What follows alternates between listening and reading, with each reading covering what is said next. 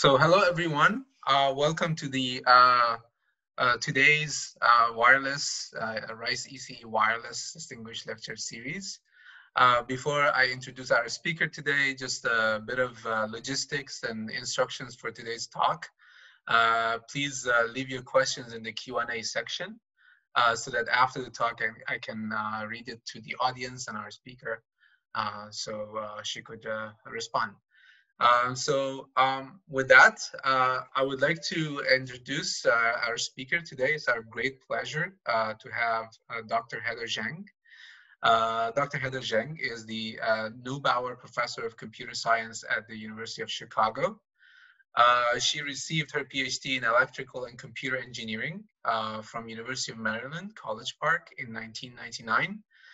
Uh, she uh, joined the University of Chicago after spending 12 years at University of California at uh, Santa Barbara, where she was a uh, professor, and before that, uh, spending six years in industry labs such as Bell Labs in New Jersey and Microsoft Research Asia. She is a fellow of IEEE, a, a ACM Distinguished Scientist, World Technology Network Fellow, and notably recipient of MIT Technology Review's uh, 35 under 35 uh, award.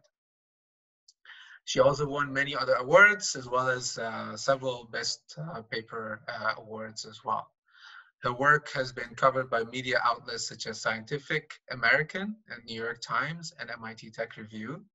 Uh, she served as a program committee co-chair of Mobicom and DySPAN, and is the general co-chair for HotNets uh, 2020. Uh, she's on the steering committee of Mobicom and is the chair of SIG Mobile Highlights Committee. Um, again, uh, I would like to welcome Dr. Zheng, and uh, without further ado, Dr. Zheng, the floor is yours. So I'm going to talk a little bit more about my experience of applying machine learning uh, into mobile system design and um, very recent work on adversarial uh, machine learning as well. Okay. Okay, so um, many of you may see in these pictures that one of the hottest topic in research these days is machine learning. And um, it took many years, starting from 1950s and then until 2008, where deep learning started to um, move in and revolutionize the entire fields. Now, many of us have been starting to using ML to uh, solve a lot of challenging and difficult problems. Okay, so it's a very simple process. You know, you there's models about machine learning, and then you get some label data. You train the model. The model recognize some hidden features about these datas, and then help us identify the solution of the problems in terms of a classification or regression result. Right? So I think this is a, a common a kind of a knowledge that a lot of people are learning these days is becoming a common knowledge that we need to be equipped for the future generation. So um, despite its popularity, um, um, some of you may actually see in this picture is a lot of question arise in terms of how do we actually use machine learning models, right? So this basically says that, you know, you just pure data into it, it magically gives you the answer, and we should trust that answer. And what answer is wrong, it's not expected. Maybe we just, you know, retrain the model, changing the data, or do whatever things we can to make the answer right. So clearly there's a lot of black arts in this domain.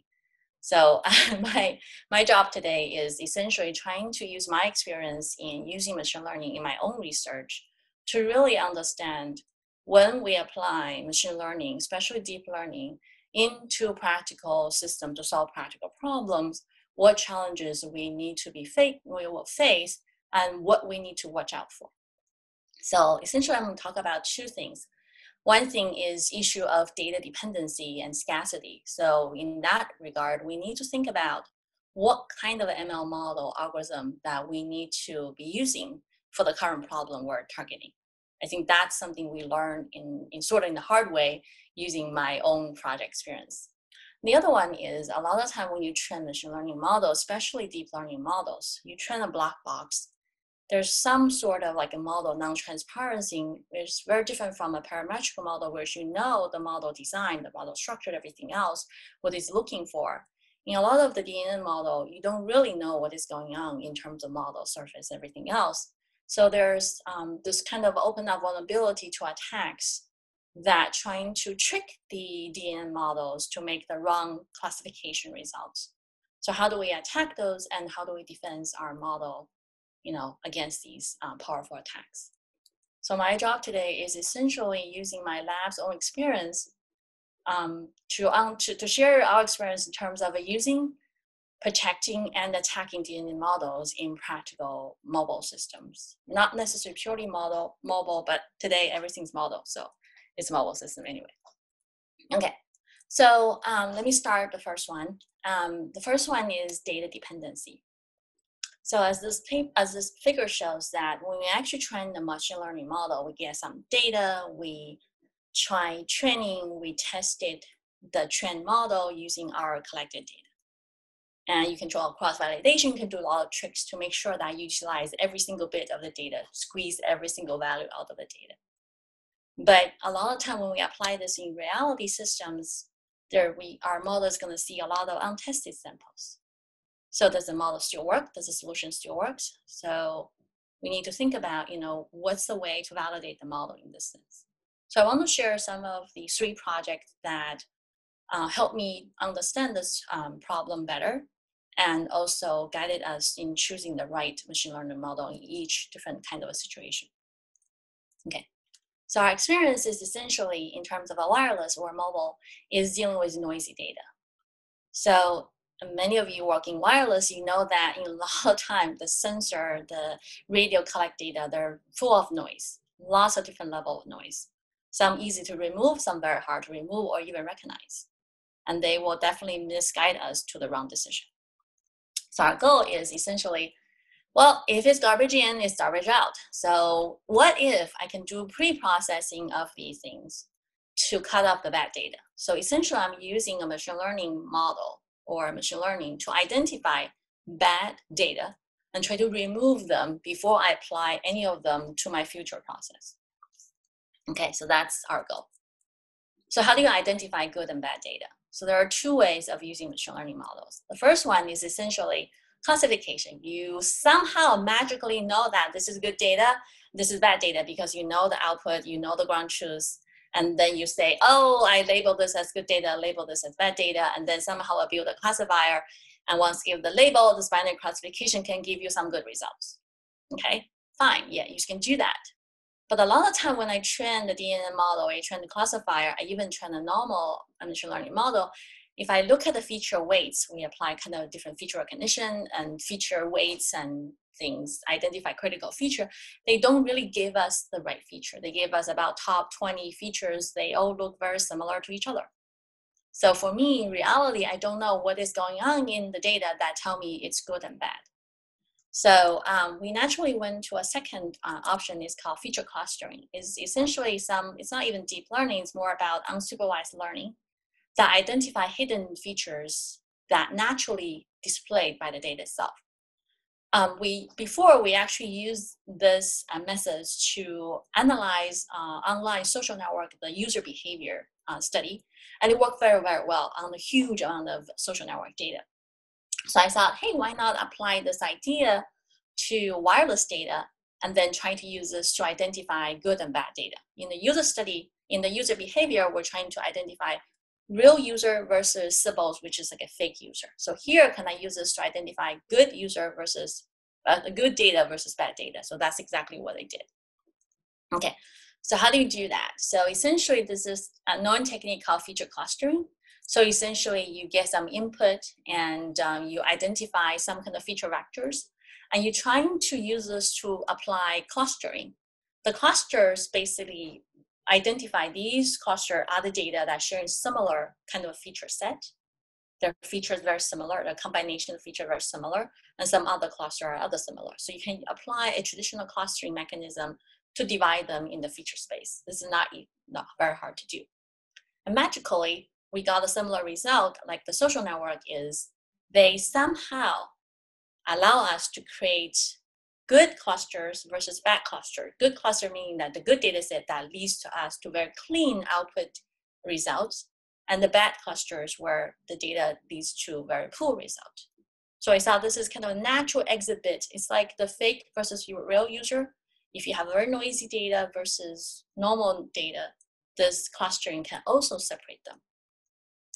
So this is this is very encouraging. So we had this two paper trying to publish it. The the bottom paper two, it's a CHI paper, is a user behavior study, and I applied this to the wireless signal measurement in that regard. Okay, and we validate this using uh, cellular signal uh, measurement. So essentially, at that time, we were able to get this public data set online called um, uh, cell ID. Sorry, I forgot uh, what's exactly. It's it's it's a data set online. We put online. It has the raw signal strengths captured in cellular networks, including uh, the signal noise. Uh, sorry, the RS, the location of the measurer, and also the ground truth location of the base station. So the goal of this task is essentially utilizing the crowdsourced signal strengths to localize the base station. So we have the ground truth of everything. And especially in terms of RSS measurement, we have a 17 million data and about 35K cells. So this is a large data set. And there's some unlabeled data in terms of they don't have the exact ground truth of the base station, but there's even more data in this regard. So we apply this method to the three Germany, Poland, Russia, which has ground truth data set, and the USA has no ground truth base station data set. So they have a huge amount of measurements. So this is called OpenCellID. Another complementary one is called OpenBMap. So this uh, figure, uh, if you can see my the mouse, you can see that the left uh, lower figure shows that our feature clustering creates three clusters.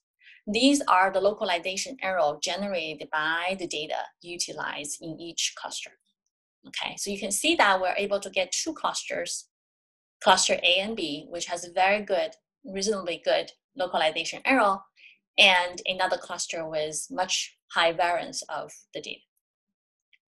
And you know, this gives us a sense uh, we can actually identify critical feature that allow us to separate different feature, different clusters. And we found out that the critical um, features are the RSS standard deviation, and um, there's one more feature, but they actually give us pretty good idea of separating different clusters. So this is good because it tells us not only we are able to separate good and bad data, we'll also be able to identify what feature that allow us to identify them. So if I'm a data collector, I look at the RSI standard deviation, then I know that currently my data is good and bad. Then I can try to say, delete this data, bad data, collect more good data sort of like that. Okay, so this is great because it allows us to largely basically reduce the localization accurate, uh, reduce the localization error by using only the good data but not using the bad data. So this gave us a lot of uh, uh, confidence in using the data collected. So then I did this for cellular. I thought, hey, why not do this in Wi-Fi? So we have another um, project in a year later that we start looking at Wi-Fi um, signal strength measurement and use this to identify IoT space inside the house. So here, if I'm an attacker outside, if I wanted to have a Wi-Fi sniffer, I collect the data, uh, I walk around the house, collect the data, and then can I infer where the uh, wireless camera is at? When I localize these IoT devices, then I can better carry out the crime better. So that's exactly. Again, here we run into the same problem is that the data collected by the attacker sniffer is noisy. So can I use the same methods we applied before to identify good data and remove the bad data? So that's exactly what we're trying to do in this project. Okay, so okay, so we we did a lot of measurement. I get my student to basically, I was at UC Santa Barbara at that time. We did a lot of camera and we tried to exhaust all the location we can find to play these different cameras, different IoT devices, and did a lot of walk around around the campus, around different office building, around different hall, around single houses, and we collect a lot of data. Right? We have about you know 2.1 uh, one, uh, one uh, sorry. 1200 working traces with 2.4 million kind of RS position kind of data sets. So this is still reasonably large, but not as large as before. And luckily, we found a similar thing. We identified uh, in terms of a localization error, kind of a three clusters, but now um, we have one good cluster and two bad cluster. So in that case, you know, the RSS standard deviation and the feeding, like the propagation model feeding MSE, another feature are the two dominant feature allow us to identify or separate the two, uh, separate the three clusters. So this is great. So again, I applied this and it worked even for the Wi-Fi data. So we were very, very happy. And because it doesn't really depend on the environment because we try to collect over different indoor, outdoor, different environment, and it seems to be environment agnostic. So we were very happy. We published a paper about it and was very well recognized at that time. Okay, so it's the same thing from the previous model seems to work and carry on to this. And next, um, and this next, what we did is I moved to Chicago. I started a new project. Is I'm not satisfied of just locating IoT device inside the room. I want to locate person without a device inside the room. So essentially, we were able to um, develop a new method that if I can accurately locate the IoT devices to the room level, then I can run a static sniffer outside to essentially identify the motion. So the detailed paper is in the NDSS um, 2000, um, uh, 2020 that if you're interested, go take a look. But the but the problem is I need to still first find out where the IoT location is at. So what I that's what I use in the project two is exactly what I did. So I did that. So I get my student to collect the Chicago data set. We moved to Chicago because in the previous one, we don't have any data with user walking around inside the room. Now we need to restart collecting the ground truth data and then to repeat everything again. Again, we deploy so many different IoT devices, 11 homes, a lot of devices, volunteers, and trying to grab all the floor plans and do everything. And then I apply the same feature, same model previously trained to here. And it failed it doesn't, it couldn't recognize the clusters anymore. So we were very frustrated. We don't know exactly what's going on. We analyzed the data. We found the data does actually display slightly different features. It's possible because, first of all, maybe Chicago is colder. And also because we have different kind of a building here. We have more high rises and dorms. And in Santa Barbara, we have more due to earthquake protection, a different kind of a building structure. Maybe these things changes but somehow the model we used before, the methods we used were never applied here. So it's very, very data dependent. So what we did is we had to say, okay, we cannot rely on a model. What can we do? So we switched back to a very classical kind of stats level data sifting methods is consistent data. We use Monte Carlo random sampling to identify, you know, you random sampling part of the data and you run the same kind of localization, if they give you consistent model and you do clustering on that, and that can give you the one. So essentially, as switching to a very complicated feature engineering kind of methods back to a traditional stats-based methods. And it worked pretty well, but it needs more data in this case. So I think a lot of time it's important to understand that the machine learning models are really, really data dependent if you want to have high quality models, they're usually trained with very large label data sets. If you look at in the image domain, in the other domain, in the speech domain, they have a huge amount of a label data set so that they can start to build some you know, reliable models, at least for some domain. In wireless, we, our cellular data set has a huge amount of data it gives us a more confidence in terms of these things can generalize, can generalize not only across region, but also generalize across country from, you know, from European to US. But in terms of the Wi-Fi data set we have, it doesn't even generalize from Santa Barbara to Chicago. Maybe if I collect much more data from many, many cities, from many, many Wi-Fi environment, I will eventually be able to build up that model. But currently, I don't have that resources. So what happens if you're running, you're building a system or building a solution, but you don't have a large scale data set?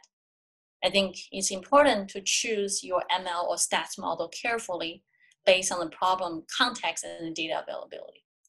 So in that sense, I'm going to talk a little bit more about the transfer learning thing that in the next slides.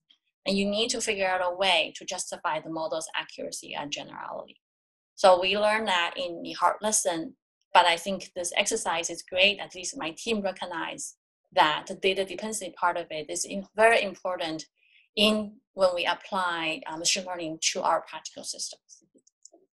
So uh, one thing I wanted to say a little bit more is wireless in order for people to work a lot in terms of using DNN model wireless, we do need to have a large model, at least trained on some very large amount of data set. This is because, you know, in image, we, or even in audio, in lot of space, we use the methods of transfer learning to reduce the data training kind of a complexity.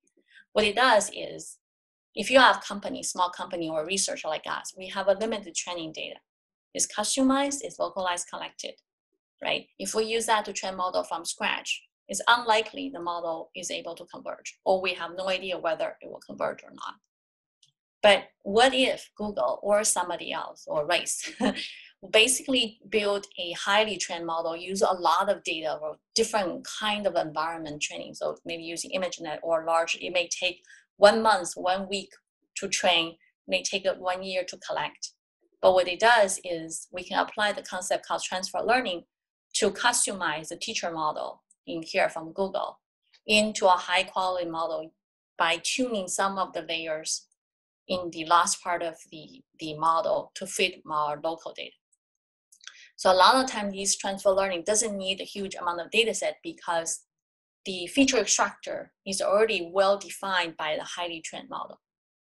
And the new model, which is customized for your local data, only need to change the last few layer in terms of generating the labeling or small tuning to feed the data. This can largely reduce the training overhead and also possible give us more confidence in the generated model. Okay, so I think a single model like this, as a teacher model generated by Google here, can benefit many, many wireless research in that domain.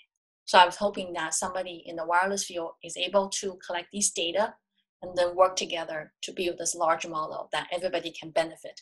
Of course, this only applies to some part of the wireless domain because we have a huge amount of tasks to do. This may not be able to, to apply to many tasks, but transfer learning can also happen across tasks. But currently, we don't have this type of model even to start with. So that's my message of you know having these models important. If we don't have it, then we need to very carefully choosing the the, the, the type of machine learning model we use. Okay. All right, so um, I hope that that message is clear. So I'm gonna move to the second part of it. Okay. So the second part, um, I believe, is very important for using machine learning models is the be aware of the model non-transparency. So essentially, when you train a especially DNN model, um, it's, it's essentially viewed as a black box to you. The data goes in, train the model, it comes out, give you the right result. But it's very difficult to interpret how the machine reached that. There's no much logic, explainable logic that human can really understand. And this non-transparency gives a lot of, display a lot of vulnerability to attacks, okay?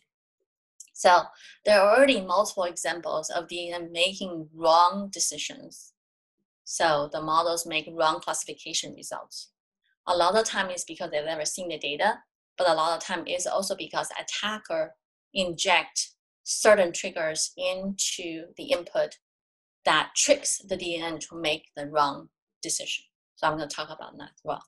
And a lot of time, even the model is well trained, but if the attacker poison the training data, the attacker can actually inject a wrongful behavior into the model or a hidden behavior into the model. And these are unexpected behavior. And then only the attacker knows how to activate those. And this we call backdoors. This is even more dangerous because once they inject it, a lot of these behavior are destined to happen when the attacker triggered them. So these are the two essentially big categories of attack in DNN models today. One is called input attack or adversary example. The other one is called backdoor or, or relative poison attack. So my lab has been working in terms of defense against these attacks, but I will also um, use some of these attacks to help us uh, building uh, defenses against um, anything violating personal privacy. So I'm going to talk about these next. So the first attack is called adversary input, and sometimes we call it evasion attack. So what it does is it trick, it does nothing with the training. At the inference time, you inject the input to the DNN model, trick the DNN into uh, misclassifying input. So here you see Angelina Jolie's face. And if you add some kind of a noise image, which is kind of a human imperceptible, and the model will basically misclassify her as Adam South. So, I mean, you will see probably Panda, many other similar kind of examples, but that's the adversary input. In reality, adversary input usually needs white box model. That means I need to know what the model, the DNN model architecture weighs everything. So it's called white box, so that I can compute, given the input, the perturbation I needed to trigger this classification. So when I basically talk about these people and ask me, just protect the model, don't leak your model out, then you're fine. Once you leak the model of course you're vulnerable. So what if you keep the model secure? Can you still break the system and make the adversary input possible? And we show that it's possible. This is because transfer learning. Okay, so a lot of time when the small company train a model, they train the model by taking a teacher model and then use that teacher model to adapt the teacher model, change some part of the teacher model, and make them the local model. And that local model is being kept secure. But a lot of time, these teacher models, they don't have a lot of teacher model, and these teacher models are mostly public. So knowing these teacher model, you can still attack the system. And this is what we show, is that it's very simple. The idea is very simple. Instead of doing this at the output, you just mimic neurons if this is a new, this is a uh, machine learning neural network process, at each layer you process more, you process more, eventually add the classification result. And if at this particular point, these, the blue point here, are the blocks that will be changed by the, doing the transfer learning to update the local model. And these white box are exactly the model kept from the teacher model because you don't need to change all of them. You want to keep some of the feature extractor to maintain the model uh, low complexity. So if I know the teacher model, at least this part, then I can train the perturbation to make the target image and the source image to behave very similar in the neuron domain. Right? If I mimic the neuron here, then whatever you do afterwards doesn't really matter. You change it doesn't really matter because if they're the same here, they're going to be the same at the output. So this is essentially if you use a transfer learning, because a lot of company, a lot of individuals use transfer learning to train their model. If I know the teacher model, then I can attack you. So what we did is essentially showing that this can be, in fact, it happen. You don't need to have a white box model of the student.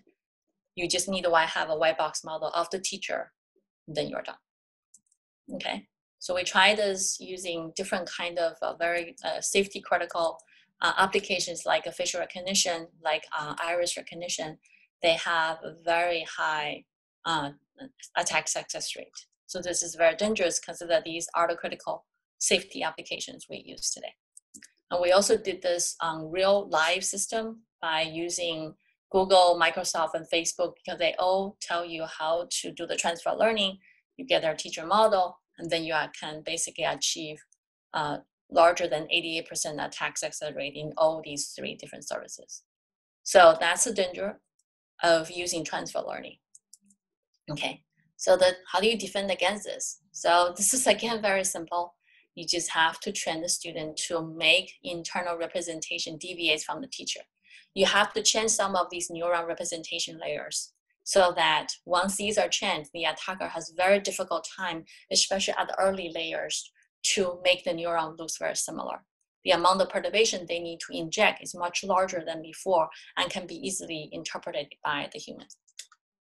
Okay, so we show that before patching, before we use this, um, our defense, the attack success rate is very high. After patching, the success rate drops significantly in this into 30% or even 12% and the classification accuracy may not decrease. It's kind of a little bit random. So the caveat of this one is you need more data because once you have to update more layers of the teacher model, you definitely need more data. But you don't trade off the quality or the data de- demand just because you want to trade off the security. When the security is um, important to you, I think these misclassification event you try to avoid then you need to have more data to make the model more reliable. So I think that's something we're trying to say is don't think that if you use a secure student model, then you're secure. You have to really make sure you're different from the teacher model in some part of the neural layer. Okay. All right, so the second part of the um, attack is something we call backdoors. In my view, backdoor is much more dangerous than the adversary input because, or should not be dangerous, should be much more powerful because they are hidden malicious behavior trained into a DNN. It's not happening naturally, it's trained intentionally into a deep learning model. So consider the following. Today, we use a lot of um, crowdsourcing to label the data. Whoever submit the label can intentionally poison the data, the training data set to inject the backdoor. A somehow uh, a bad employee can do this as well. So, and this is very dangerous because it's very hard to detect. The reason is that the DNN, the trend model, the injected model, or the backdoor model DNN behave naturally on clean inputs. Here's an example. You have a stop sign recognizer for your self-driving car, and you have these signs. Of course, it will generate the correct kind of output. Okay, but if you add a trigger, this is a backdoor trigger injected into the DNN model, then any image with this trigger, with this trigger, whether it's on stop sign yield or do not enter, when it classified by the model, it will classify that into the green light. Okay, so attacker can specify behavior on any input, not just one input, any input with this particular trigger. If you don't put the trigger on, the attack will not happen. Only the attacker knows the trigger and the attacker will basically activate the attack in real time. So this is very dangerous. Think about this is that if you have a facial recognition, my student can put up this particular glasses and you know pretend to be us or pretend to be somebody else and sign the season and graduate the next day. That's our that's our joke in the lab. But this is very dangerous because it applies to any input. And if you don't wear the special glasses, you don't have that effect. So it's very difficult to detect. So backdoor is not, we did not discover the backdoor. Backdoor was discovered by several research in MLSEC and um, it's very easy to do. You just need to put these uh, poison training data set, you know, modify those, add this into a speed limit, and then you know you put those there, and then you do it. And then the trend data essentially, a trend model essentially carry the behavior defined by these poison data set. And there's other work in terms of I can even optimize the type of data, type of trigger injected to really maximize the, the effectiveness of the attack. So you can say, hey, this is easy. Why can't I just detect this um, these um, by looking at the training data set? Right? But the thing is, a lot of time this require human inspection. You have to inspect a lot of these data yourself. And how do you ensure that the human basic inspected is not really bad and do something else? But more importantly, in reality, you don't have the access to all the training data to a company who gives out these models to you they don't really want to release their training data. The training data is a big asset to the company themselves. So our defense is looking at if I'm a user, somebody gave me a DNN model. I need to understand without access to the training data set whether the DNN model I have is infected or not. If infected, what is the target label? Okay, what is generated to? and more importantly, what is the trigger it uses? And if I can detect the trigger, is there any way for me to detect and reject adversary input so that I'm not suffering from the misclassification or the attack? And more importantly, can I patch the DNN model to remove the backdoor so I can use the model safely? So that's our goal. So that's our work last year in terms of we call neural cleanse is trying to say, give me a model. I want to trim up all the backdoors out of it. And the assumption is that I get um, I get a DNN model clean. I have a small set of a correctly labeled sample data. That's very easy. You have to get some of those, and it's not that hard to, to get. You have some computational resources, but I do not have the training data, especially the poison training data provided by the attacker. Okay, so I think that's our idea. So I'm not going to talk about detail, but essentially, uh, this is some some sort of similar to some of the signal processing or the security uh, area problem in terms of detecting wormholes.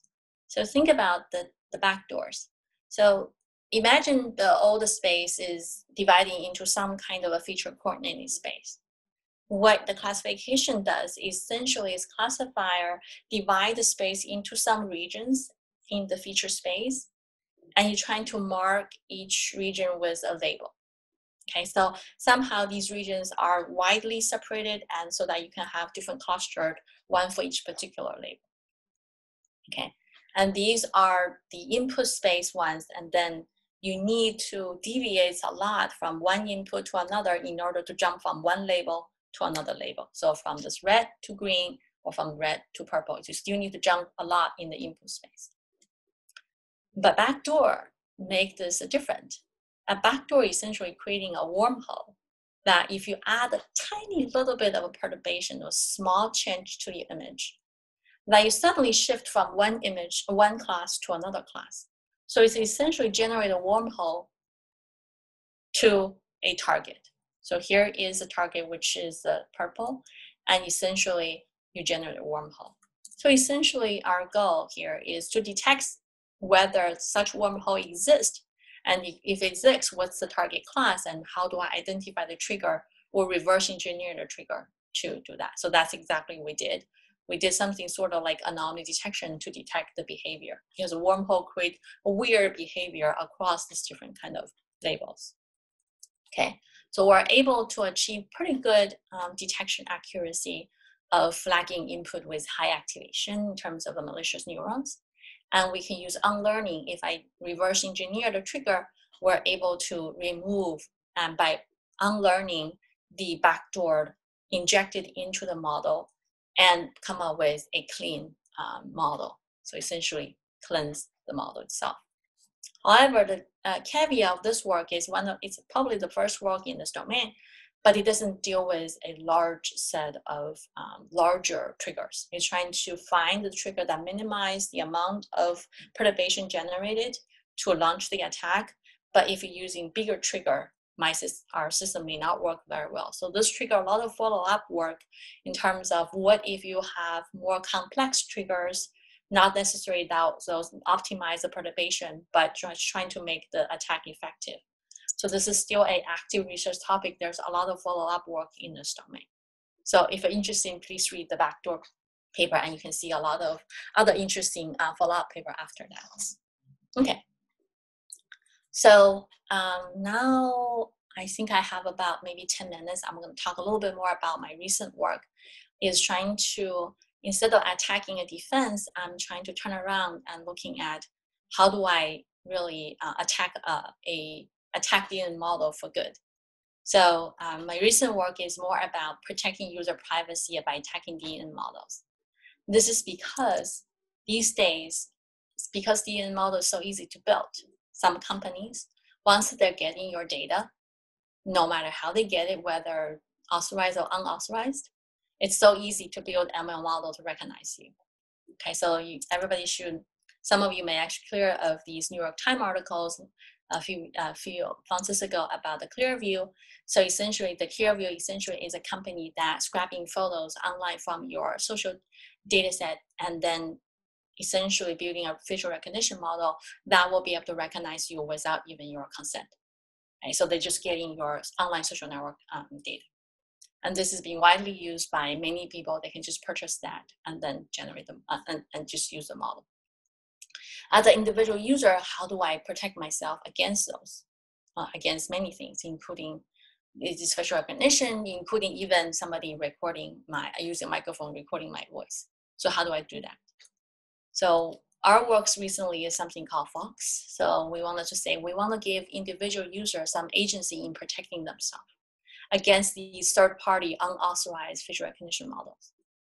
So essentially, if you can solve the problem at the source, so there's there's different solution. There's like, how about you wearing a mask, or you wear heavy makeup, or you wear some kind of trigger some things that prevent you uh, at the wrong time the any camera to recognize you we propose a different solution. Why not addressing this from the source? is that what if we prevent these companies to use your online images to train the correct model? What if I can control my online image, which I uploaded or other people uploaded? What if I can control these? What if I add something, a perturbation, a trigger into these images before I upload?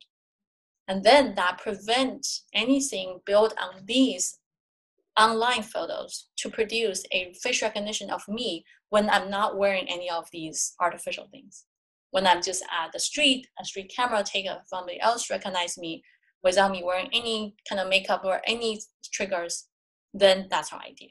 So essentially is you're a user, you have some kind of limited computation resources, you can get a well-trained feature extractor, which our package has.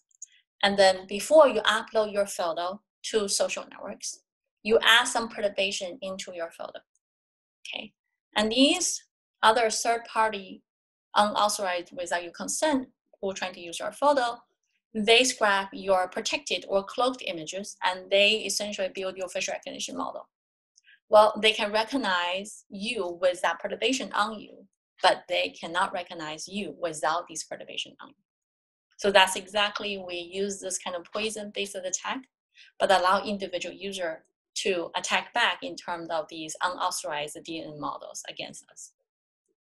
So we tried this um, using um, real facial recognition APIs from Microsoft Azure, Azure and Amazon and Facebook Plus, which is art. And we found out that they actually give us pretty good accuracy of protection.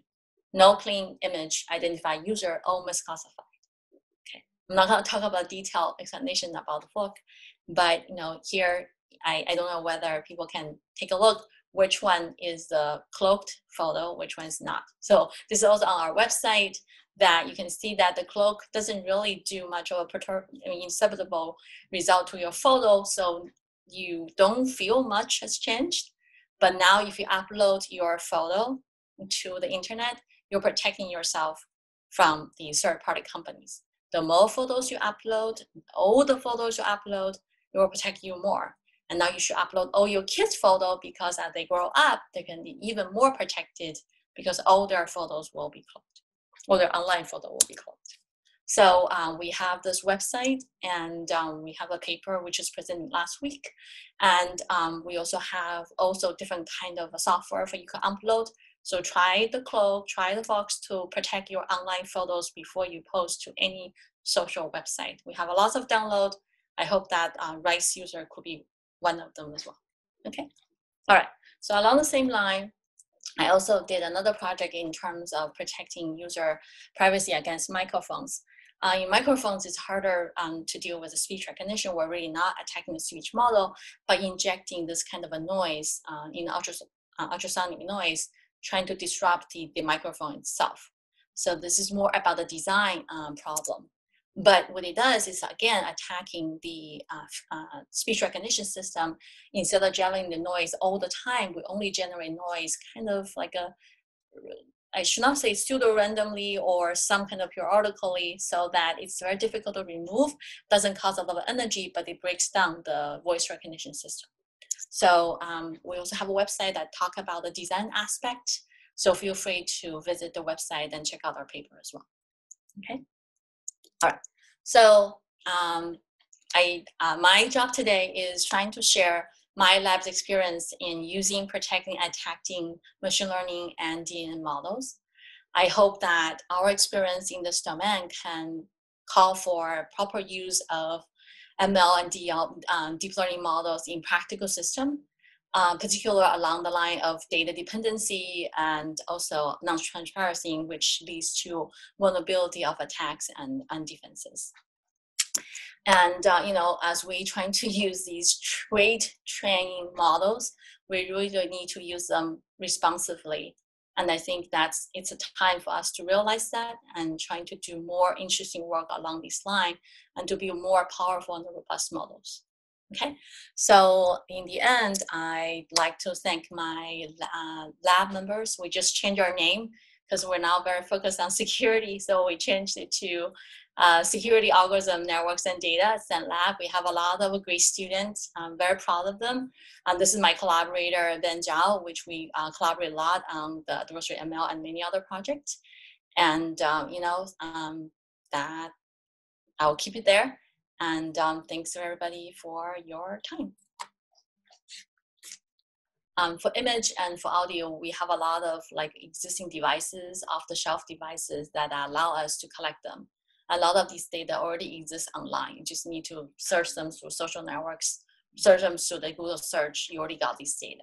So I think a lot of these real-time and hardware-based kind of a data collection is very difficult for wireless. And also a lot of these um, vision or speech data, they come from the similar data set or the shared data set right? So, but in wireless, we do a lot of different type of kind of uh, tasks, and each these tasks require different kind of uh, granularity, different kind of aspects of the data.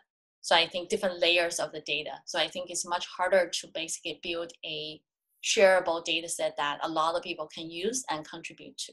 So I think that kind of a segmented kind of uh, uh, space make it harder to collect wireless data. And also wireless data also consume a lot of um, space. My Spectrum data, I had to processing a lot to cut the, um, the granularity in order to make it shareable. But you know, it's still small data set. So I'd like to see more um, efforts in that domain. Maybe the citywide testbed, all these kind of different efforts can give us a lot of diverse data set and more like a multi-layer data set allow us to look at even a cross-layer design uh, I think that's a that's a hard problem, but it's a it's hopefully it's being resolved right now. Okay, thank you. Uh, so Ashu looks like has a question. Ashu, um, I will ask one, and there's I think some more lined up. Uh, a great talk. Really enjoyed it. Um, in in the last part where you are uh, you know enabling privacy by essentially users uh, I guess, polluting or uh, corrupting their own images. By making the software itself available, isn't it now possible to just take that and reverse engineer? So it's just a matter for me to take the Clearview to download the software, know exactly how it works, and then augment their training algorithms. Yeah, great question, Ashu. So the software itself is given to individual user, but in, in here, the software itself is actually online runtime random. So basically, when it cloaks you, it chooses some kind of a targets to move your in the feature space into another person's space. But that person is randomly selected. So it's very difficult for the attacker to reverse engineer in terms of where you're going to go to. But I guess Mm-hmm. I guess maybe there is a statistical reverse engineering which is possible. If I if I gave all the my training data set and pass it through your software, I would now have a statistical understanding of what it is doing. Yeah, but in that case, then their training data set has to be very small or is limited. I but see. the visual recognition is more about the popularity. I've mm-hmm. recognized many people. So and and I think now is is also very difficult to essentially say what is cloak or not not cloak so mm. it's kind of a mixture in that. But more importantly, it's harder to reverse engineer. We're not saying this is completely safe. Maybe in a few years or maybe in a few months, somebody can break this. But at least now, I think this is one of the first one that gives user the the power. At least I can go against these kind of powerful company rather than do nothing about it. So does it have a computational guarantees of sort, like which, which typically we associate with security, right? RSA and others are, have certain type of a computational guarantees. Is there something we can associate with this work yet? Oh, it's very difficult to say a guarantee. Um, I I try to do some statistical analysis of this, but it's very dependent on the data set. So now we're trying to make the cloaked and photo in terms of the feature space far away from the user you cannot be too far away because if you're too far away, you're at the boundary, become anomaly, then I can detect anomaly against you. But you want it to be in the middle. Luckily, if these for these third party feature are going to be useful, they have to detect lots of people. So your feature space has to be very big. So that complexity is high enough, allow us to hide inside. Mm-hmm. Although we cannot provide such a guarantee, it's already complex enough and powerful enough to prevent, sort of prevent future uh, reverse engineering. Okay, great. Thank you. There's lots of questions lined up, so I will start. Okay. Yeah, thank you. Okay. Yes, so we have actually uh, next question from is ya- from Yasaman. Um, so she asked in the last part, I was wondering what information on the face recognition DNN models needs to be known to user to preserve the privacy of uploaded pictures. Oh, so we have a shared uh, feature extractor. Oh, let me go back to this one. So each user will have a feature extract, will be given a feature extractor that's inside the software. The feature extractor will automatically extract the feature and decide how do I generate the perturbation to minimize uh, the, the, the perception of changes while make your, your feature away from your actual clean images feature. So user doesn't need to need much, the, the software itself already contain that.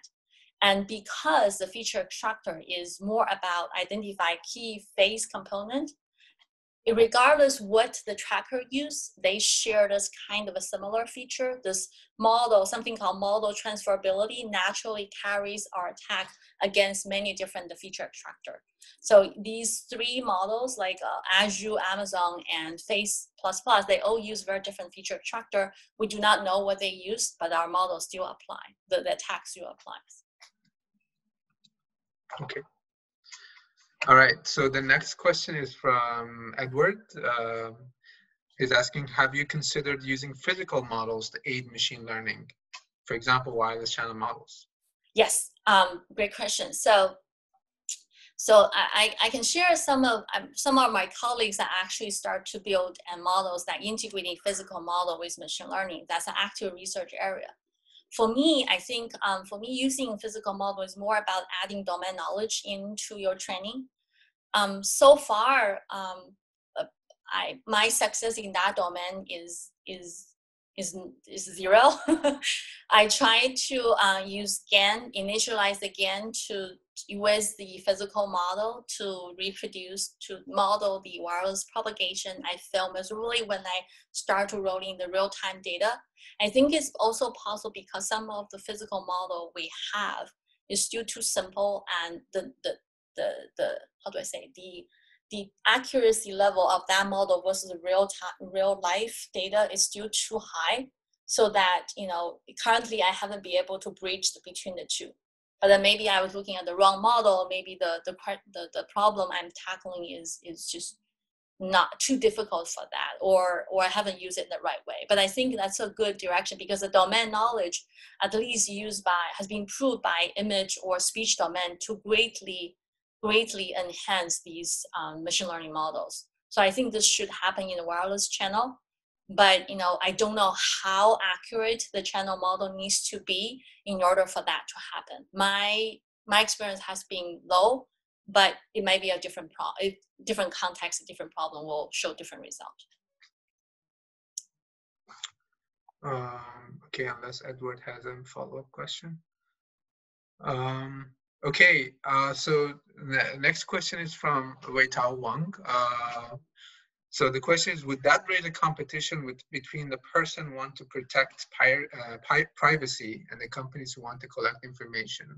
That people protect their pictures in some way and company detect this method and ignore them in the future.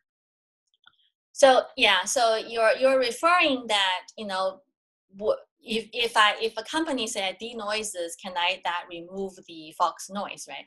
We try that. It's you have to really if you denoise, you have to denoise to a certain amount that breaks the facial recognition model in order to remove the uh, the Fawkes uh, uh, effect.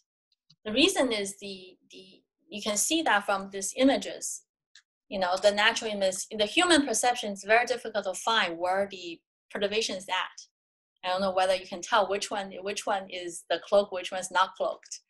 So the denoise, we're not, you can see there's no noise. They do not know where did you add this to because our algorithm doesn't tell you where do you add these. And every time where you add those is also random, right? So in this case, um, it, we tried uh, in the paper, we tried different way. We tried different denoise, we tried resizing, we tried uh, uh, compression, we try many things. You have to go to the level that breaks down the entire uh, picture so that your facial recognition fails until this methods will break. Okay. I think that's the powerfulness of poison attack.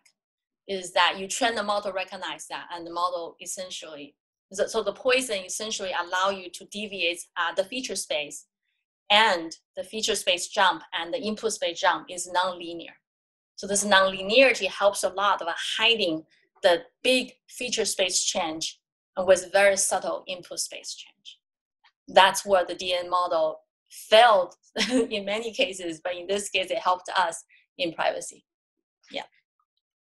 Was are there any scenarios for intelligently extending Fawkes to video? Not easy. If you want to do a live video, then it's hard because it still requires time. Now we're doing time, we're doing offline, but doesn't mean that we cannot do it. I think it needs more intelligent processing. We just haven't had time to get to it right now but it's it's a good ongoing work or a future work. Uh, we encourage everybody to try it and and find the right solution, more efficient solution in that regard. So that's a great question. Thank you.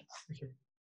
So there's actually apparently another question. If the ML model offer a list of top candidates, uh, how likely is the user appears in the list? Uh, no, it's never near that. Um, it's never on the list itself it will probably recognize somebody as a famous actress or actor, depends on or, or somebody else, depending on who's our target model. But tar- targets used to cloak you, but it will not recognize uh, you. Feel free to try it. Just go to our website. We have the GitHub, we have the source file, we have the DMG, we have a binary, everything. We encourage everybody to try it, cloak your photo. My uh, photo I sent to Rice uh, for this talk is actually cloaked. My video is not right now. but my, my photos in your announcement is already cloaked. So I wasn't, I'm not worried about my photos anymore.